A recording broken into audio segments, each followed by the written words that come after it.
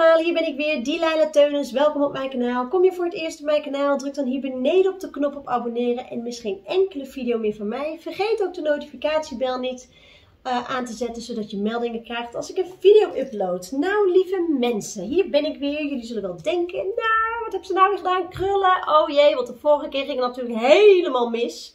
Ik had zo mooi lang haar, echt tot aan mijn billen. Echt.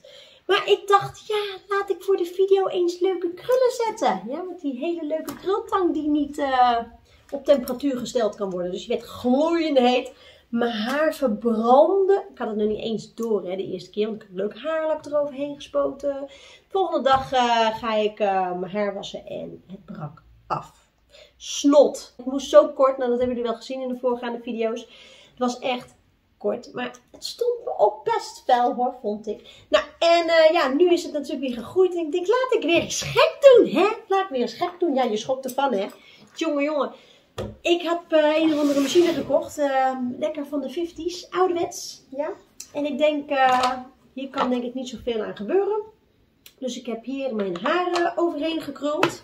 En dit is het resultaat. En volgens mij, ja, volgens mij gaat hier mijn haar niet van stuk. Dus we gaan het morgen weer meemaken als ik mijn haar weer ga wassen. Hè? Wat vind jij ervan? Ja, toch? En uh, ja, dus dit is het resultaat. Ik vind het best wel leuk. Ja, wat vinden jullie? Nou, en ik was een paar, uh, ja, paar dagen natuurlijk eventjes weer van de radar. En uh, ik was echt toe aan vakantie. Ah, van mijn stokje af blijven. Als je niet maakt. Kleine sloper. En ik was echt heel even toe aan vakantie. Nou, meestal noem ik vakantie in Nederland niet echt vakantie. Want ik noemde altijd vakantie naar het buitenland echt vakantie. Dat je helemaal zon, zee, strand en niets hoeft. Nou, ik ben lekker naar uh, Drenthe geweest. Ik moet zeggen, Nederland heeft ook wel echt hele mooie plekken hoor. Ja, je hebt zoveel mooie, ja, mooie, mooie dingen waar je heen kan gaan. Dus ik was even lekker uh, een paar dagen in, in Drenthe. En even tot rust komen. Nou ja, wat je rust kan noemen. Hè? Want je moet nog steeds van alles. Je wil van alles. Je wil van alles zien. Maar de omgeving is zo mooi. Het liefst wil ik echt verhuizen. Ik wil eigenlijk helemaal weg hier zo. Uit de Randstad vandaan. En uh, ja, maar waar moet ik nou heen? Waar zal ik nou eens heen gaan? Hè? Weet jij iets? Weet jij wat heen? Misschien wil ik wel naar Drenthe. Of naar Gelderland. Of naar Overijssel. Wat vinden jullie? Moet ik daar ergens naartoe? Is dat leuk om naartoe te gaan? Um, nou, ik vind de omgeving wel heel erg prachtig. Ik ben naar de alpaca knuffelboerderij geweest. Echt zo leuk. En ik was naar Zoo Bizarre geweest. Als je maakt. Ja. Was je ook mee? Nee, hè? Jij was ook hier, hè? Jij was bij de oppas. Ja? ja?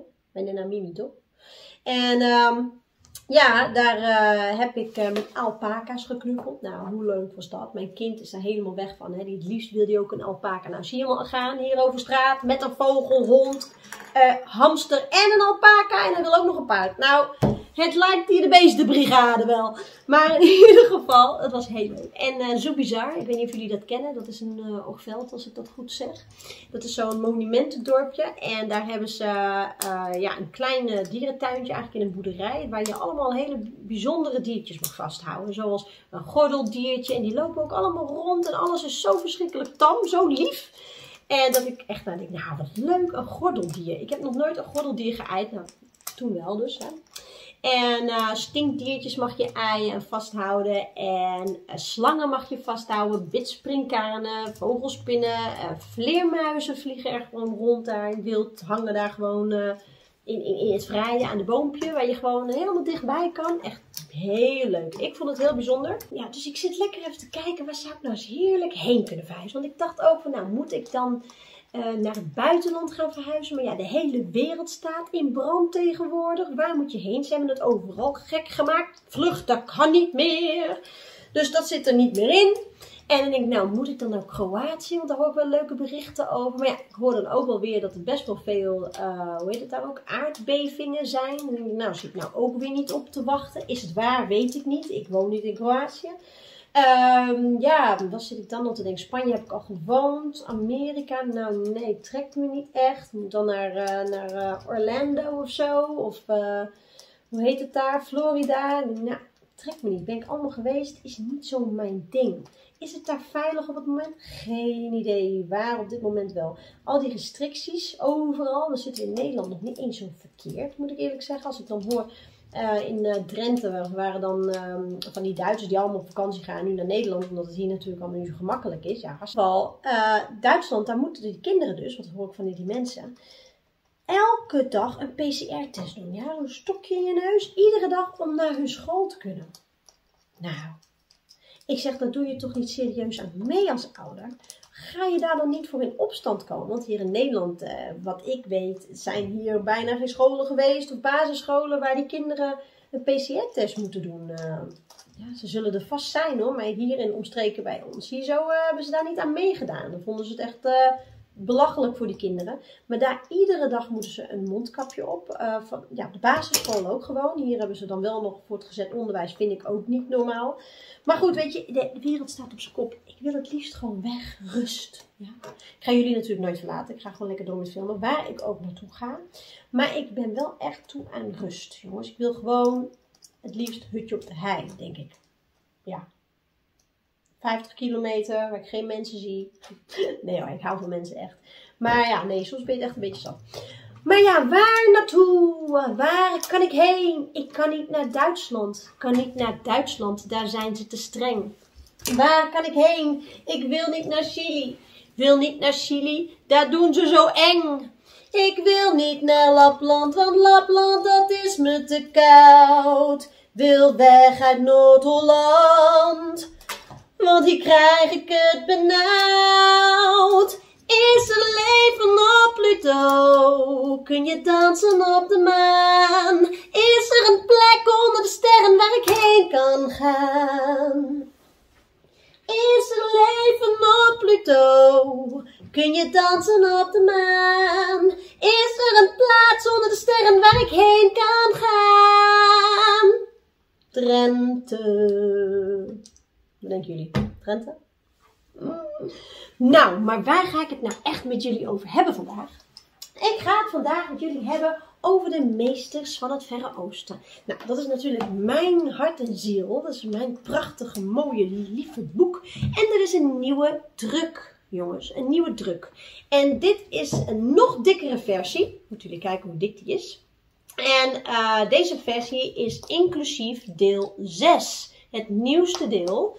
En dit deel dat was al hele lange tijd uit in Amerika. Ik heb in Engels toen wel uh, redelijk goed gelezen. Althans, toen mijn Engels niet super goed was. Maar nu het in Nederlands is, is het veel beter dan ik dacht. Maar deel 6 is niet door uh, Bart Spalding zelf geschreven. Dat is meer door uh, ja, zijn vrienden of kennissen of de archeologen die met hem mee waren naar Tibet en het Verre Oosten. Uh, die daar dus hun verslag over hebben gedaan over hoe Bart Spalding was. Wel bepaalde dingen heeft, uh, zijn, zijn wel citaten en ook bepaalde geschreven teksten die uh, wel door Bart Spalding geschreven zijn. Die hebben ze er ook aan toegevoegd. Maar hier hebben ze dus ook iets heel dubbelzinnigs. Je kan het niet zo heel goed snappen. Want aan de ene kant zeggen ze dat Bart Spalding dus een soort van doodgevonden is, ergens in een hotel. De andere kant zegt het weer dat een gerucht er is dat hij dus dood was, maar dat hij eigenlijk een boek aan het schrijven is. Aan de andere kant zeggen ze dat hij misschien wel. Hallo, je staat voor mijn gezicht. Hallo, je staat voor mijn neus. Hé, hey, heb je een tand op? Nee, hier blijven. Nee, ah, blijf je eraf. Niet tikken erop. Kom eens hier. Kom eens hier. Oh, ik ben toch hier een heel gesprek aan het doen. Kom hier. Ja, maar hier staan. Maar um, aan de andere kant, hier kijk eens. Oh, mooi, kraaltjes. Aan de andere kant um, uh, ja, zeggen ze dus dat hij dus een boek aan het schrijven was er. Of ze denken misschien wel dat hij vermoord is. Er is weinig echt over te vinden. En ja, het, is een beetje, maar ik vind er staan hele goede dingen in. Heel erg interessant. Maar ik ga het vandaag met jullie hebben over de uitleg over de geheimen van levitatie. Dus uh, ik wil graag dat wij onze frequentie gaan verhogen en onze meditatie uh, gaan doen. En dat gaat door middel van AUM. A-U-M. En heel veel mensen kennen het om, maar dat om is eigenlijk niet het juiste om de klank van vibratie of frequentie te krijgen. Met AUM, als je dat ook zo meteen doet, dan zal je ook een diepe trilling voelen, of een, ja, een energie, vibratie. En als je die vibratie op de juiste manier blijft herhalen of blijft doen of gebruikt, dan kan je dus leviteren. En dat is dus ook het verhaal wat ze hier dus vertellen in het boek De Meester van het Verre Oosten. En ja, ik ga een stuk voor jullie voorlezen. Nou, de Meesters van het Verre Oosten, dat kunnen jullie dus ook verkrijgen bij mij op de website. De nieuwe druk is nu uh, te bestellen. De oude druk kan ik ook niet meer aankomen. Uh, wellicht jullie het nog op internet vinden, mochten jullie dat graag willen. Maar ik moet eerlijk zeggen, uh, de nieuwe druk is super mooi, super gedetailleerd. ik ben er heel erg tevreden over. Jullie weten hoe kritisch ik ben over ja, dingen als er iets verkeerd is. Maar ik heb hier geen fouten in kunnen vinden. Wat ik jullie vertel net ook over deel 6 is eraan toegevoegd. En dan kunnen jullie zelf jullie conclusies daarin trekken. Wat jullie ervan vinden. Nou, de volgende ochtend werden we om 4 uur gewekt door de stem van de Sheila. Die luid en duidelijk schalde. De natuur ontwaakt, zo dienen ook de kinderen van de natuur te ontwaken.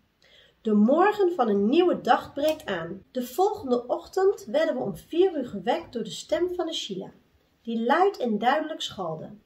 De natuur ontwaakt, zo dienen ook de kinderen van de natuur te ontwaken. De morgen van een nieuwe dag breekt aan. De vrijheid van de dag wacht u. Aum. We liepen naar de richel waartegen we de avond tevoren de bovenkant van de paal had geleund en constateerden dat tot onze verbazing dat de paal was vervangen door een vakkundige vervaardigde trap.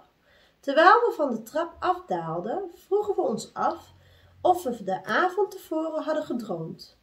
De Sheila kwam ons onder aan de trap tegemoet en zei: Ah! Jongen, jongen, jongen, jongen, jongen.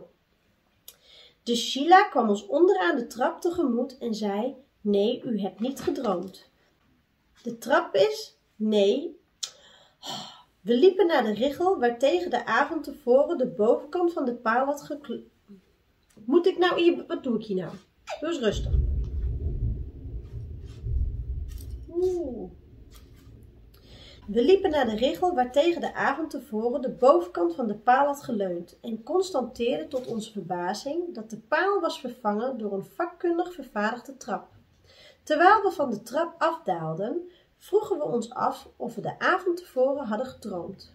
De Sheila kwam ons onderaan de trap tegemoet en zei: Nee, u hebt niet gedroomd. De trap is daar gisteren gedroomd. Meester Puriji heeft hem daar geplaatst om u allen te gerieven. U ziet dus dat het een droom is die is uitgekomen. Tijdens de twee weken van ons verblijf in dat gebied werden we van voedzame, warme maaltijden voorzien. Nooit zagen we dat voedsel werd bereid, toch werden we overvloedig bediend. De Sheila en een andere persoon begonnen aan de klim naar de Poratatsanga. Het eerste traject bestond uit grove treden die in het gesteente waren uitgehakt. Dan volgden planken over kloven die gapende ravijnen breken, bleken. Een deel van de klim vond plaats met behulp van touwen die in de gletsjerspleten boven waren vastgemaakt. Hoewel de beide mannen twee uur lang klommen, kwamen ze niet verder dan de tweede richel, die omstreeks 170 meter boven het beginpunt lag. Ze besloten dat ze gedwongen waren op te geven. Terwijl ze nog stonden te aarzelen, riep Yogi Santi, die op de hoogte was van hun hachelijke positie. Waarom komen jullie niet naar beneden? De Sheila antwoordde, we zijn aan het proberen, maar de rotsen houden ons vast. Ze ervoeren we zijn aan het proberen, maar de rotsen houden ons vast. Ze ervoeren wat velen hebben ervaren, namelijk een steile rotswand gemakkelijker te beklimmen dan af te dalen is. Wel, waarom zouden jullie daar ook niet blijven? scherpste de yogi. We komen morgen terug met voedsel. Misschien kunnen jullie ondertussen naar de top klimmen. Blijf je van mijn af! Daarna waarschuwde hij hen dat ze volkomen rustig moesten blijven, omdat hij zich realiseerde dat ze in een moeilijke situatie verkeerden. Na drie uur zorgvuldige aanwijzingen waren ze weer bij ons. Als je niet maakt, blijf maar de opbel. Ja. Hey. Ah, ah, ah. Happy. Daarna waarschuwde hij hen dat ze volkomen rustig moesten blijven, omdat hij zich realiseerde dat ze in een moeilijke situatie verkeerden. Na drie uur zorgvuldig aanwijzingen waren ze weer bij ons. Met een zucht mompelde de yogi, zo taant de geestdrift van de jeugd. De jonge lui keken verlangend naar boven. Als meester Puriji daar blijft, is het waarschijnlijk onze pech dat we hier moeten blijven. Dat pad is te moeilijk voor ons. Maak je geen zorgen, zei de yogi. Iemand die hoger is dan jullie zal dat regelen. Rust nu uit. Jullie hebben een uitstekend begin gemaakt. Velen vroegen wanneer we de grote meester zouden kunnen zien. De yogi antwoordde: Vanavond. We vroegen ons af hoe men een tempel had kunnen bouwen op de plaats waar de Pora Tatsanga stond. Meester Puriji kwam en sprak met ons tijdens het avondmaal. De mislukte poging om naar de tempel te klimmen kwam ter sprake. De meester zei dat zij erin waren geslaagd omdat ze een tweede poging hadden ondernomen. De volgende ochtend om vier uur waren we allemaal weer bijeen onder de tempel. Yogi Santi zat in Samadhi. Drie leden van het gezelschap liepen naar. Moest je nou een poepie doen? Alsjeblieft. De volgende ochtend om vier uur waren we allemaal weer bijeen onder de tempel. Yogi Santi zat in Samadhi. Drie leden van het gezelschap liepen naar een grote platte steen en namen plaats alsof ze wilden bidden. Enkele ogenblikken later begon de steen zich te verheffen en werden de drie op de steen naar de tempel gedragen. Toen zei Yogi Santi tegen de Shila en twee anderen: Zijn jullie klaar? Ja, antwoordden ze alle drie gretig en gingen op de rots naast hem zitten. Meteen begon de rots zacht op te rijzen en werden ze gezamenlijk naar het dak van de tempel gevoerd. Daarna, ja, ja, ja, kusje, ja. Ah, het is goed. Daarna, even kijken hoor, waar ben ik nou gebleven? Je hebt me helemaal door de war gemaakt. Even kijken. Daarna waren wij aan de beurt. We moesten dicht bij elkaar gaan staan. Daarna stonden alle drie, hè, daarna stonden alle anderen op en kwamen zij die al in de tempel waren naar het dak en begonnen Aum te herhalen. In minder tijd dan nodig is om het na te vertellen, stonden we op het dak van de tempel. Happy. Zo kan ik toch niet lezen? Kom hier. In minder tijd dan nodig om na te vertellen. Oké, ze stonden dus op het dak van de tempel met z'n allen, hè, door, door de trilling.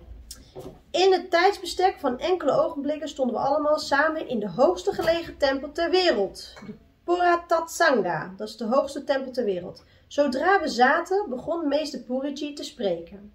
Een aantal van u is nooit getuige geweest van levitatie van het lichaam. En zij zijn er verwonderd over. Laat ik u zeggen dat er niets wonderbaarlijks aan is en het een vermogen is dat de mens toebehoort.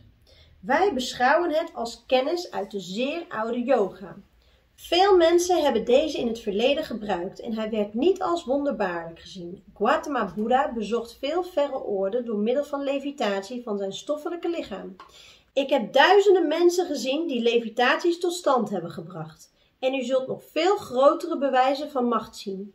Bewijzen van een geweldige onweerstaanbare kracht die kan worden gebruikt om bergen te verzetten. Wanneer men hem volledig beheerst. U looft en bezingt vrijheid en bevrijding. Happy. Happy. Ah! Happy. Nee. Happy. Jongens, jongens, jongens, jongens, jongens, zo kan ik toch niet voorlezen.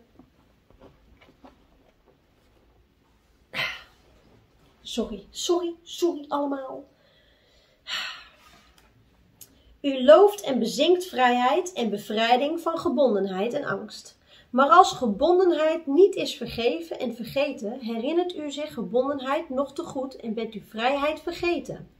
Een systeem van zuivere yoga is een boodschap van totale vrijheid aan de hele wereld.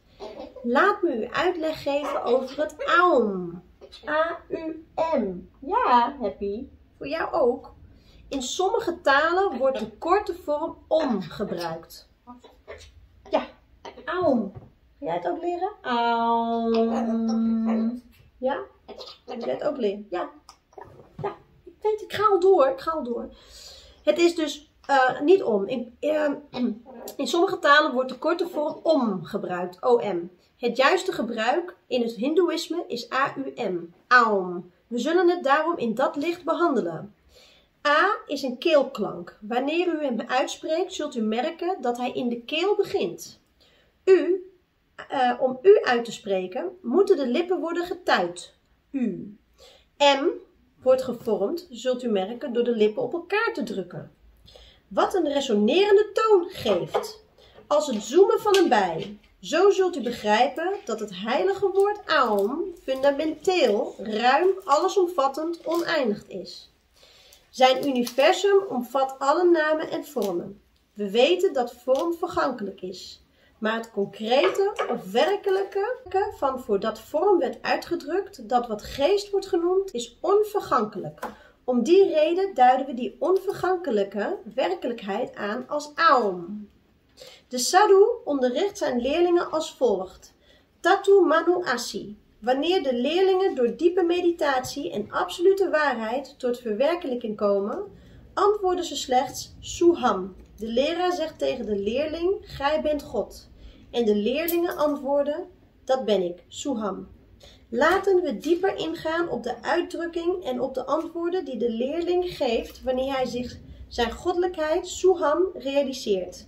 De uitspraak bevat twee medeklinkers en drie klinkers. De twee medeklinkers S en H, de drie klinkers A, U en M, die een mediale syllabische klinker is. De medeklinkers kunnen niet worden uitgesproken als ze niet aan de klinkers gekoppeld zijn. Zo vertegenwoordigen op het gebied van geluid de medeklinkers het vergankelijke, de klinkers het onvergankelijke. Daarom zijn S en H ingedeeld bij het vergankelijke. Blijft Aum over en vormt Aum het eeuwige. Oké, laten we het met z'n allen eens gaan doen. Doe je mee, Happy? Oké, we gaan beginnen, oké? Dus we doen A, U, M, Aum. Ja, we beginnen dus met de keelklank. U, lippen getuid. En met de M, lippen op elkaar. Ja, zoals je de A, U, M dus zegt.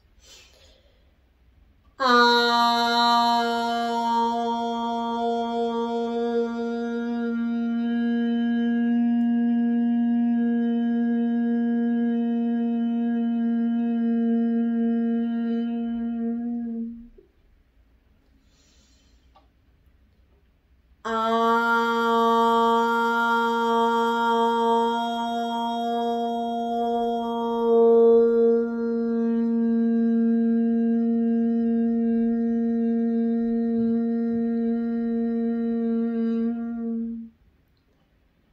jullie de trilling? Ja, dus de frequentie in het lijf breng je daarmee omhoog. Dus een hele hoge frequentie, hoger bewustzijn krijg je daarvan.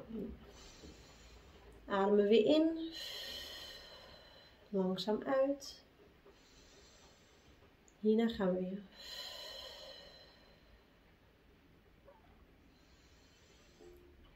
Adem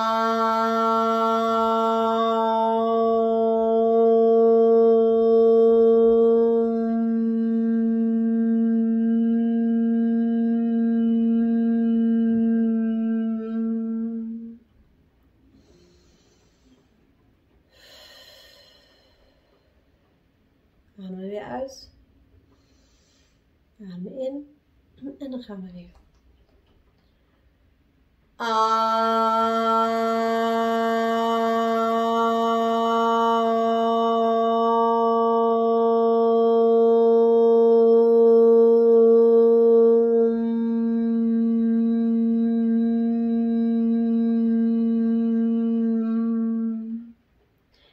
Als het goed is, vibreert je hele lijf wanneer je dit doet.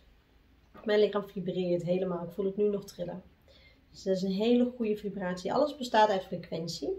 En wanneer we onszelf met een hogere frequentie dus uh, ja, gaan meten, of gaan aanmeten, dan voel je dit direct in je lijf. Dus heel goed om gezond te blijven of uh, ja, gewoon in staat van een hoger bewustzijn uh, te komen of te blijven. Nou, gaan we nog één keer, laatste keer. Dit met de hele wereld gaan doen, jongens. Oh, iedereen, als je dat met een hele grote groep al gaat doen, nou, dan voel je alles vibreren. Heerlijk gevoel. Ademen in. En dan ademen daarna weer in en dan doen we het. Adem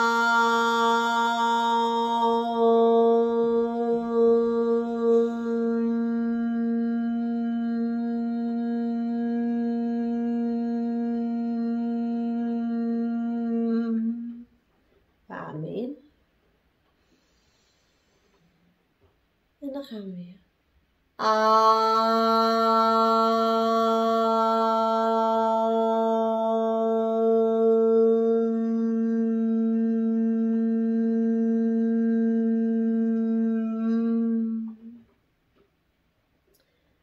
Ah, heerlijk. Nou, ik zal het vaker met jullie gaan doen. Het is hartstikke heerlijk. Uh, ja, doe dit ook gewoon thuis. Probeer het. Het is een heel fijn gevoel. Je, je voelt je hele lichaam vibreren. En uh, zo geven we nog meer kracht. En ja, hier staat ook dus ook precies in hoe je dus uh, kan gaan leviteren. En hoe meer je op die frequentie komt van verlichting, dus dat je gaat verlichten, maar ook je lichaam dus gaat verlichten. Hun laten daarmee dus een steen bijvoorbeeld zweven. Hè? Die gaat dus leviteren met mensen erbovenop. Het komt ook uh, voort uit ultrasound. Ik weet niet of jullie dat kennen. Uh, bijvoorbeeld een bepaalde trillingsfrequentie die ze ook met muziektonen gebruiken. Daar laten ze dus ook stenen en zo zweven. Nou, dit is eigenlijk dezelfde frequentie. En als je op de juiste frequentie zit, kan je dus dingen laten leviteren. Ze hebben het in de wetenschap al aangetoond dat dit gewoon kan. Dus lieve mensen, bedankt voor het kijken. Ik zal de volgende keer wat meer voorlezen. Maar meneer Happy, die kwam mij een beetje storen en lastig vallen. Maar oh, kijk, maar hij vindt het heerlijk als ik aan doe. Gaat hij altijd helemaal zo zitten. En dan zie je ook hier dat zijn veertjes helemaal zo tegen zijn snaveltje aanzitten. En dat vindt hij heerlijk, hè? Lieve mensen, 26 maart gaat de show van Mika ook uh, van start in Tilburg. De show Galactic. Ik heb in de post al eerder uh, de promotie daarvan gedaan. Ik mag deze show ook ja, me heel erg vereerd bij voel uh, openen. En ik zal een hele mooie speech ook gaan geven. Dus ja, willen jullie erbij zijn? Er zijn nog maar 40 zitplaatsen beschikbaar. Dus wees snel. Ik zal hier de gegevens in de video bijzetten. Hoe je moet reserveren en hoe je contact kunt nemen met Mika. Mochten jullie vragen hebben, stel ze ook aan Mika. En dan hoop ik jullie heel erg snel te zien. De show gaat voornamelijk over ja, de kinderhandel die natuurlijk plaatsvindt in Nederland. En ja, dat hier heel veel licht op geschenen moet worden, zodat dit gaat stoppen. En natuurlijk ook de mooie wereld waar we naartoe gaan. Want we zitten natuurlijk in een hele grote kosmische shift. En een prachtige shift. We gaan van duisternis gelukkig naar het licht toe. Eindelijk. Na zoveel duizenden jaren. Maar God zegt. Natuurlijk kan ieder mens of ieder individu per direct al verlicht worden of verlicht zijn. Dat is natuurlijk een kwestie van doen en een kwestie van ja, weten dat je het kan en dat je ook die verlichting bent in het hier en nu, zodat je gewoon uit deze matrix gaat stappen en hoger bewustzijn op dit moment gaat ontwikkelen. Dan hoef je niet eerst op die shift te wachten, maar we zitten nu letterlijk sowieso in een hele bewustzijnsshift. Het is nodig, anders gaat echt letterlijk deze planeet met alle gekke experimenten en uitvindingen en weet ik het allemaal waar ze mee bezig zijn. Nou, dus uh, wil je erbij zijn? Check dan even hieronder in de video naar de gegevens en dan zie ik jullie snel weer in de volgende video en wellicht wel 26 maart in Tilburg. Doei!